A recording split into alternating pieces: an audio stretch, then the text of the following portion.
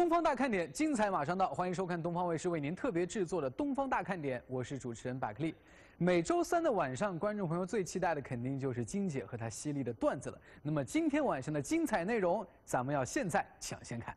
我跟你说过，让你整容，是你不整，我也没办法。姐，嗯，你竟然，你竟然说我没整容？想我沈南为你抛头颅洒热血，帮你打下这半壁江山。嗯，可是你呢？卸磨杀驴，兔死狗烹，吃完方便面你就扔叉子呀！苍天呐！天上的雷呀！哎呀，哎呀，哎你呀！劈死他们吧！哎呀，哎呀，行了，哎呀，行了，小南，要不这样吧哈。考虑到你这跟姐这么些年嘛，没有功劳也有苦劳啊，我呢再给你一次面试的机会。我不要啊！我要。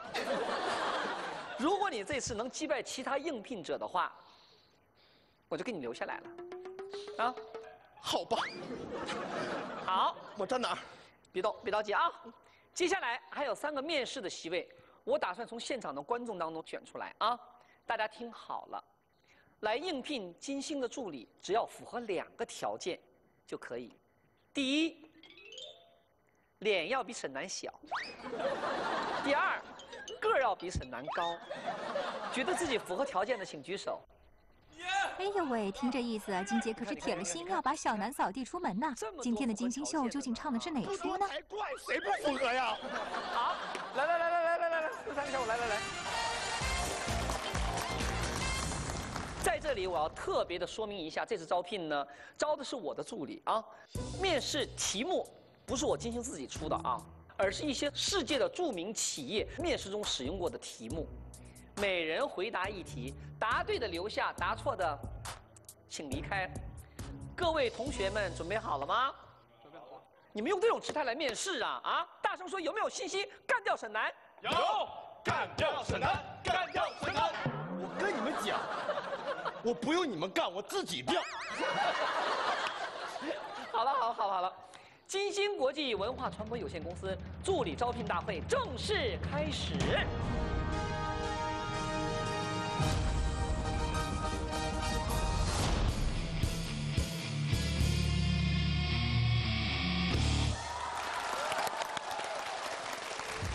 请听题，第一题。这道题目呢是微软公司招聘时用过的。如果赋予你超能力，你愿意选择隐身呢，还是能飞？我选择隐身。你为什么选择隐身呢？这都不用说，我都知道，他就是想偷偷摸摸的钻到女生宿舍里面，然后偷吃女生辣条，不是不是，哎呀呀呀呀！要不就偷吃人家方便面。哎哎，为什么？为什么？你为什么选择隐身？为什么？我这个人比较怕热，怕热上海的天气呢还特别特别的热，静姐。只要是有了隐身能力，啊我可以光明正大的不穿衣服，老凉快了不是吗？就这点要求哈。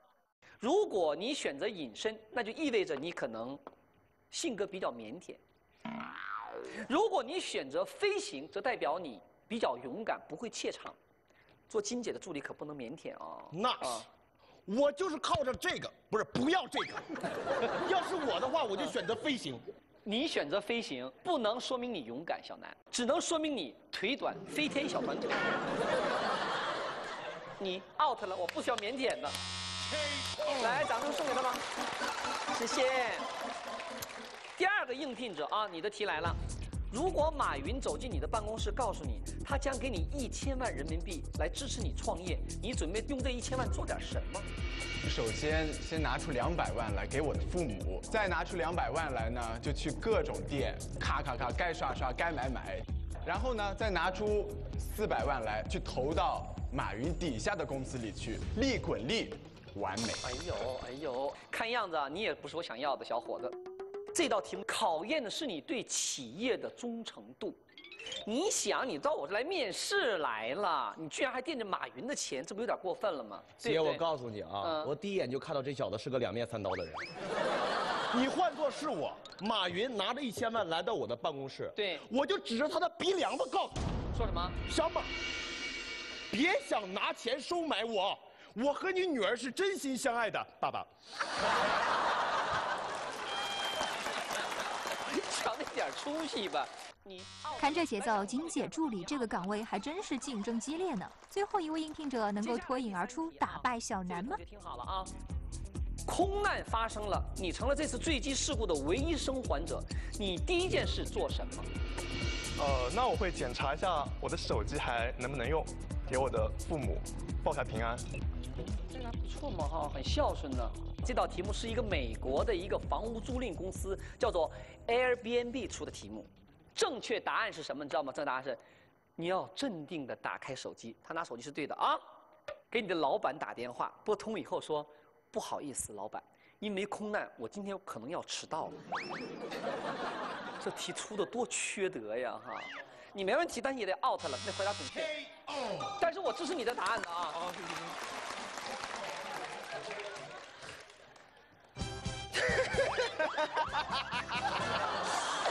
这都是天意呀！啊！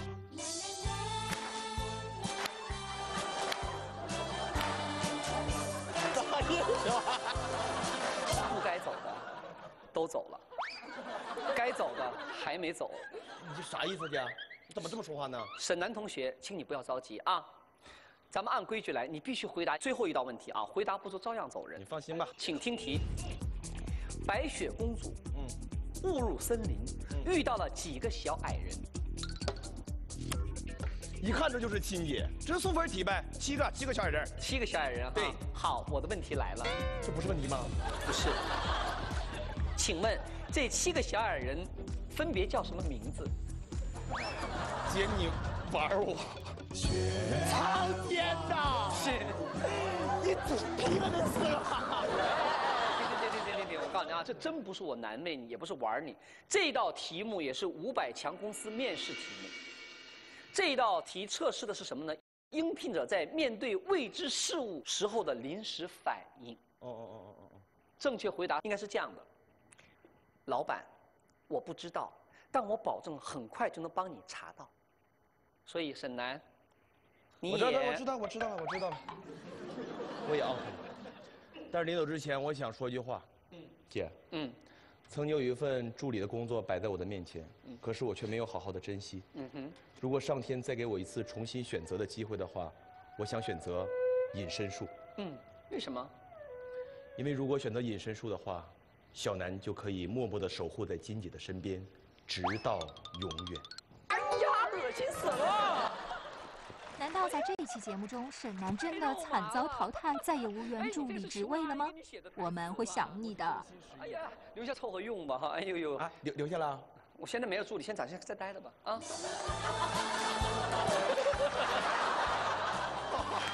今天这期超能金星秀呢，咱们就好好说一说招聘那些事儿。有一种演员，无论他是主角还是配角，一部剧看完，他总是能够给您留下非常深刻的印象。这就是当之无愧的老戏骨。那今天上节目的这位嘉宾呢，就是一位不折不扣的老戏骨，他就是著名演员李立群。你干嘛呢？感冒了还凉着了？不能性别。咱俩一样啊。你昨晚是不是喝多了哟？没有，喝了一点。这开场白也就只有对李立群了，因为两位的交情是喝出来的。昨天喝啥了？威士忌啊，两瓶。两瓶威士忌啊！那天我采访完谢贤吗？回到香港以后，给我寄了这么他他八十了。对对对，他他还他也 OK。对呀。太厉害。还在香港拍电视剧呢。完了，我那天来来采访，他在深圳拍戏，拍戏过程当中看电视，突然看到我金秀了，他说的：“我要认识这个女人，我要认识这个女人。”我打电话了，我说：“来来来聊吧。”我想我不请我还你不来吗？请了就聊聊得特别开心。我昨天我回家以后从香港。把他自己收藏的，哪天到家来喝吧，只有你能来喝了。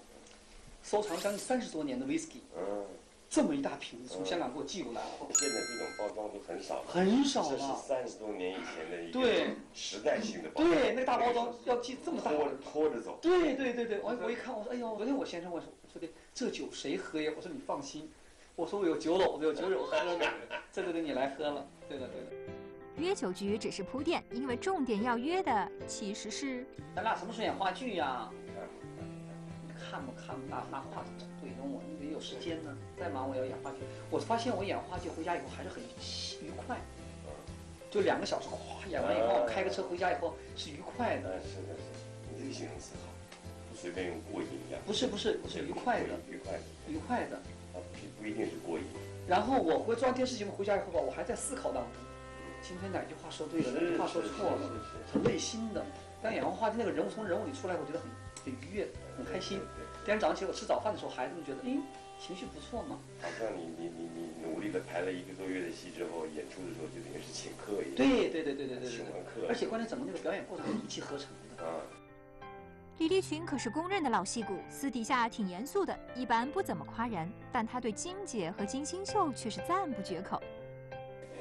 现在天啊，没有没有没有发，没有。看了节目想转台，看完之后还要看重播。那是您爱我，那是您厚爱我。刚才一个观众跟我说，啊，不是你说的。我我也认为，我也认为你发紫如日中天。还好还好。看了节目想转台，看完之后还要看重播。你看完看我是要给我挑毛病的。我的看法跟他一模一样。要给我挑毛病的，没有挑毛病。你几次节目我看了就不想转。哎，但是我跟跟那个谁立群大哥这是一见如故。嗯。就是你在人生当中没有几个朋友会一见面，就感觉好像认识好多十来年那样，聊聊就开始直直奔主题就聊天啊喝酒都没有，太少了，这种东西太少了。爱好相同。然后呢，对对对，完了品味品品相，就对事情的判断和品质品相都在一个高度上，对，而且实话实说。对呀对呀，时间嘛。一见如故的两位老朋友会擦出什么样的火花？更多精彩内容，敬请锁定今晚十点东方卫视。一次看到您这个表，您这个表挺有历史的吧？上海表吧？是的，你看到了。对呀。这个表啊，它是你看啊，中国上海。对呀。当时这款表还算是高档的国产表。这个表现在值钱了。啊。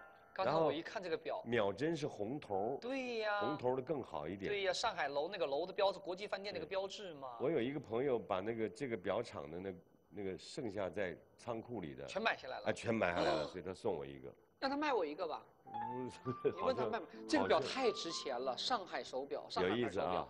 哎呦，最后以前 N 多年前女孩子谈恋爱，一个男人戴这个表的话，那就可以嫁了。上海牌手表。你那朋友是哪年把这厂子剩的货收的？哪一个？就是这这个你的朋友。这就是去年朋友送我的。这个表链都他把库藏的那些剩下来的上海厂那个表。表厂里的表全部买出来了，也是买了大概一百多个。哦，这个表太有历史了，而且那个表带都特有历史。我一看好有意思哦，我就他给了我一个，对。刚才我一看，我说哎呦，这个表有说头了。秒针带红头的。对对对对对，哎，这个表链整个这一套是对的。嗯。看。哦，好表。待待会儿商量商量。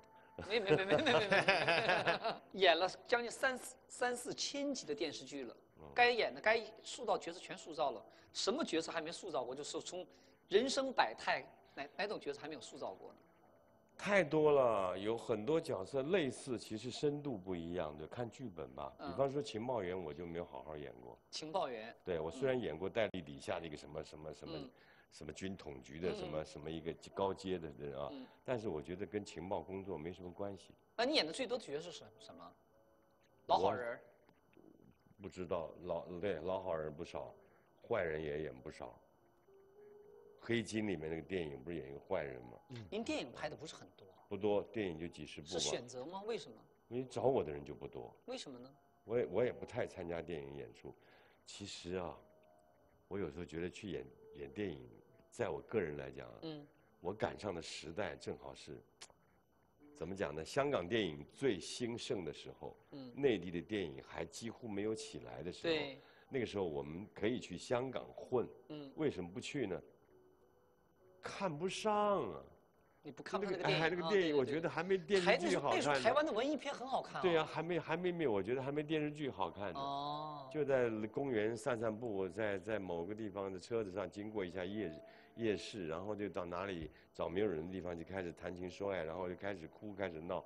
就永远都是似曾相识的题材，对我来讲拍电影太简单了吧？嗯，还不如待在电视环境里。OK，就错过了跟电影结缘的机会。嗯，然后等到电影起来了，我们人家也不认我们这一号演员是属于电影的，嗯，我们就乖乖的待在电视剧里面一待待一辈子。嗯，所以电影只拍了几十部，还不错，拍过杨德昌的电影，嗯，啊，拍过这个赖声川的这个《暗恋桃花源》，这这，拍过张译的什么什么，有几部好电影参加过。咱们东方卫视花样男团的东欧之旅呢，还在继续，本周又会有怎么样的精彩桥段？期待一下吧。这一次，花样男团一行来到了位于匈牙利首都布达佩斯城堡山的渔人堡。根据当地人的说法，这里是初吻发生几率最高的地方。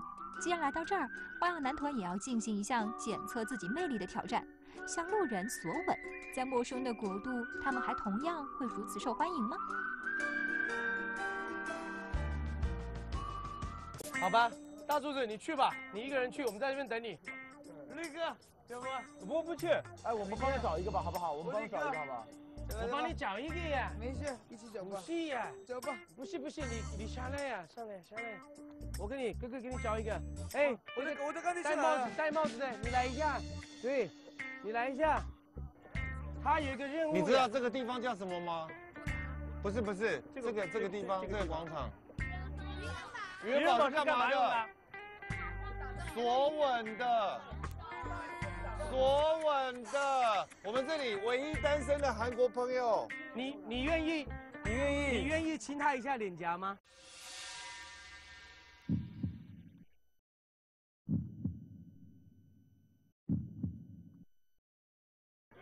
谢谢啊，我们任务就完成了。Please，please，哦，你们两个情侣帽，耶！情侣帽，亲脸颊一下呀。啊，哦，你亲他呀？都要都要都要。好了，亲脸颊呀，韩国的朋友。对他亲你的脸颊呀，不动不要动，他亲你。换你换你，还要回人家。哦，换嘴换嘴换嘴换嘴换嘴换嘴。哎，没有，拜拜，谢谢，谢谢谢谢。刚才哥哥帮你了吧？什么呀？哥哥帮你亲了一个吧？你去，你去，你去找一个外国人回来，好不好？去找一个外国，看他要亲谁，看他愿意亲谁，好不好？OK，OK，加油！Excuse me，呃，Do you want kiss？是。哇！要 who who who？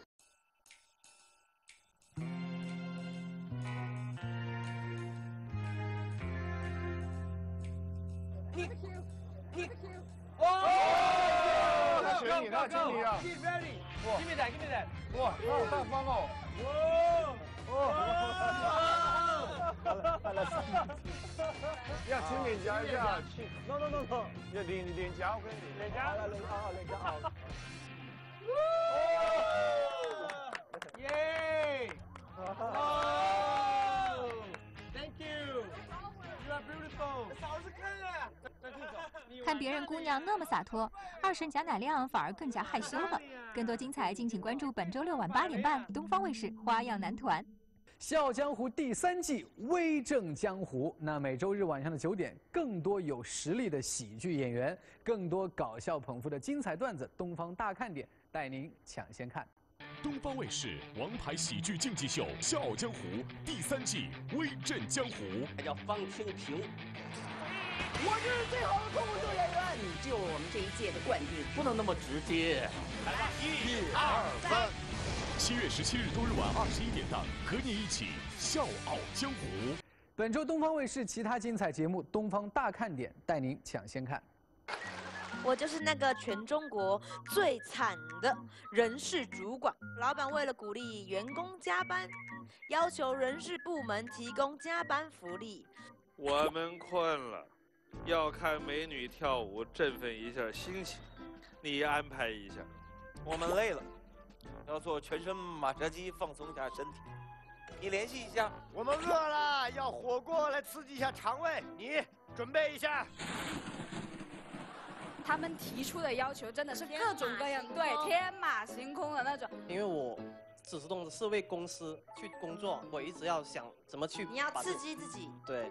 然后我是跟老板说，要不给他们弄个转盘吧，就写一些他们最想要的那个。就在这个弄个菜单对。就福利就在菜单里边。来，我们看一下。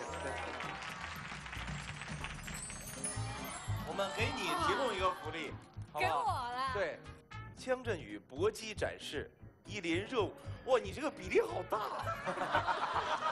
这 半壁江山都是你。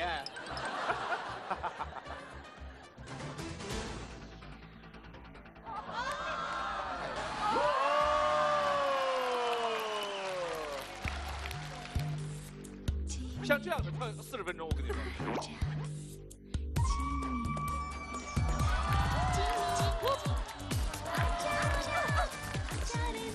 行到我了。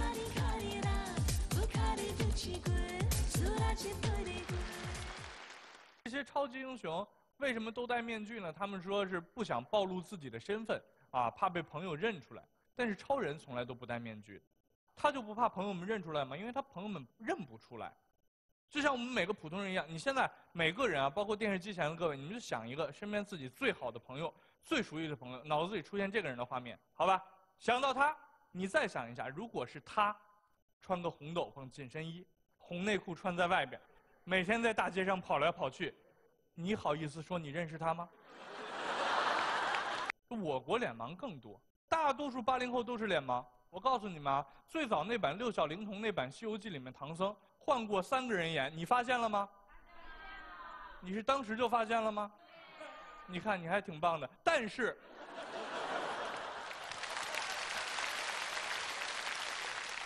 以后这种不上路的观众就不要让再进了，好吧？制片部门啊，一点面子都不给，反复问，还拉长声，对呀。好，但是。不过说到超级英雄，还必须得说这样一个人，那就是美国队长。前阵子啊，漫威公司爆出这个料，实在太大了，好吗？漫威公司官方宣布，美国队长是九头蛇的卧底。我的妈呀！简直就不可思议，你知道吗？就是这种感觉，就是什么呢？就好像是孙悟空。历尽千辛万苦、九九八十一难、十万八千里的这个遥远路程，一路保护唐僧，到了天竺，刚到雷音寺山脚下，把唐僧就给炖了。这就是本周东方大看点的全部内容。我是百克力，下面就是精彩的金星秀，没有。